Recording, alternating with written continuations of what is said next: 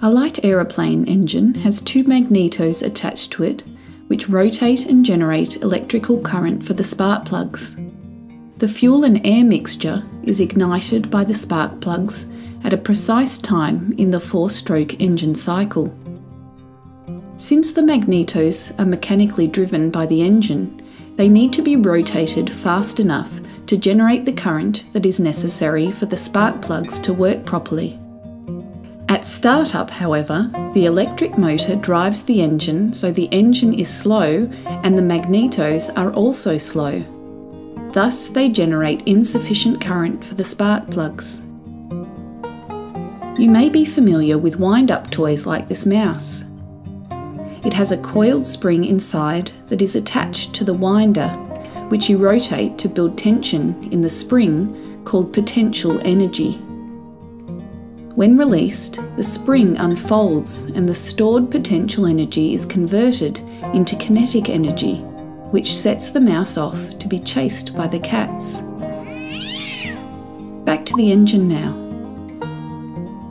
Impulse coupling is a device that is used to intensify the ignition spark at slow engine speeds to assist with engine starting.